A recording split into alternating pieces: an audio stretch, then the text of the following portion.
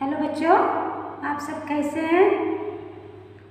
हम लोग पढ़ेंगे पाठ ग्यारह कक्षा तीन में हमारा समाज पढ़ेंगे। भारत के त्यौहार। तो आइए इस पाठ को हम किताब के द्वारा पढ़ेंगे।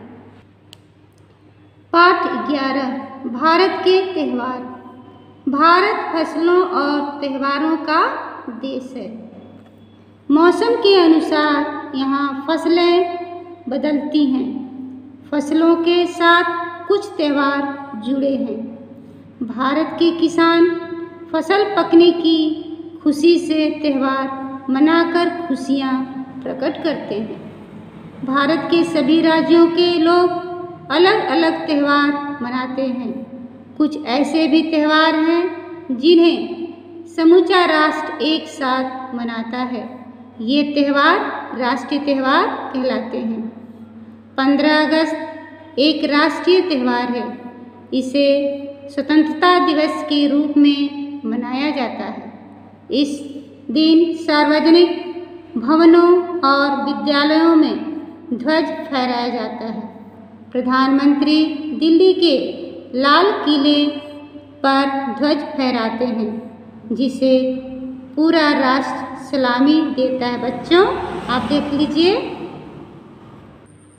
26 जनवरी को हम गणतंत्र दिवस के रूप में मनाते हैं।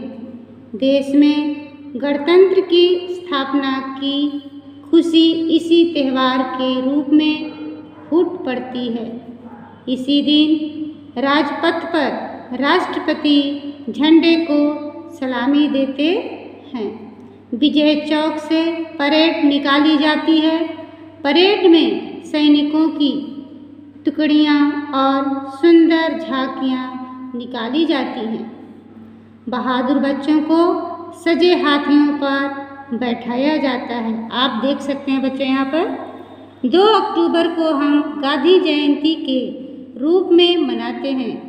राजघाट पर प्रार्थना सभा होती है।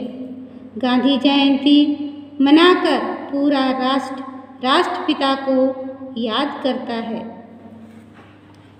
रबी की फ़सल पकने पर रंगों का त्यौहार होली मनाया जाता है। होली पर सभी एक दूसरे को गुलाल लगाते हैं और रंग लगाते हैं।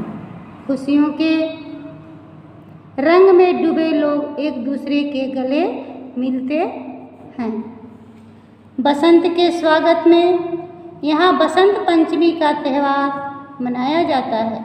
इस त्यौहार पर लड़कियाँ बसंती साड़ी पहनकर खुशी से नाच उठती हैं। आप देख सकते हैं चित्र में बच्चों।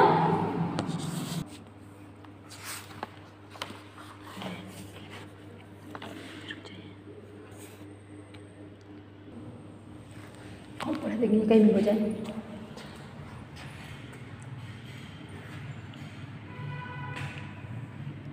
रेडी ना? प्यारे बच्चों, आप इस पाठ को अपने शब्दों में मिला मिला के पढ़िए। अभी इसी पाठ का अभ्यास प्रश्न हम देखेंगे यहाँ पर। पहला प्रश्न, का पहला, भारत के त्यौहार किसके साथ जुड़े हैं? इसका उत्तर है, भारत के त्यौहार फ़सलों के साथ जुड़े हैं। प्रश्न नंबर दो किसे कहते हैं? इसका उत्तर है जिन्हें समूचा राष्ट्र एक साथ मनाता है, उसे राष्ट्रीय त्यौहार कहते हैं। प्रश्न नंबर तीन, स्वतंत्रता दिवस किस तिथि को मनाया जाता है? इसका उत्तर है स्वतंत्रता दिवस 15 अगस्त को मनाया जाता है। प्रश्न नंबर चार 26 जनवरी को कौन सा राष्ट्रीय त्यौहार मनाया जाता है?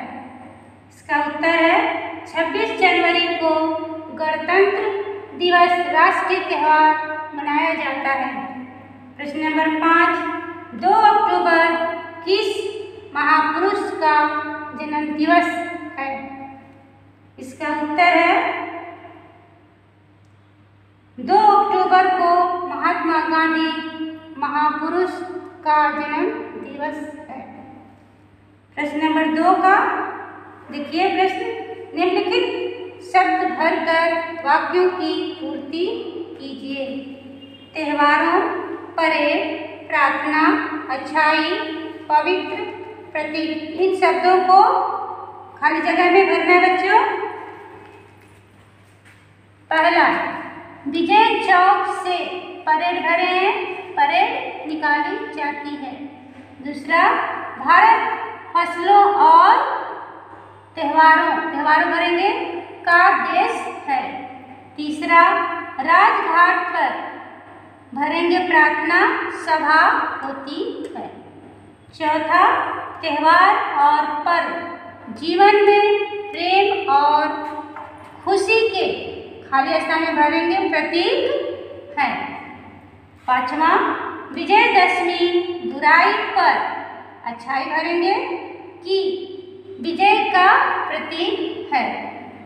छठवां, ईद मुसलमानों का खाली स्थान भरेंगे, पवित्र त्यौहार है। प्रश्न नंबर तीन, निम्नलिखित के सही जोड़े बनाइए। प्यारे बच्चों, इसको हमने आमने सामने लिखे हैं। देखिए, उसका उत्तर है, रंगों का त्यौहार होली होगा, दशहरा, विजयदशमी, बसंत पंचमी, बसंत का स्वागत। चौथा है दीपावली, रोशनी का त्यौहार। पांचवा क्रिसमस 25 दिसंबर। छठवा है शिक्षक दिवस, राधा डॉक्टर राधा कृष्णन। तो प्यारे बच्चों, इस पाठ को आप आप अपनी कॉपी पर सुंदर अक्षरों में लिखिए पढ़िए। Thank you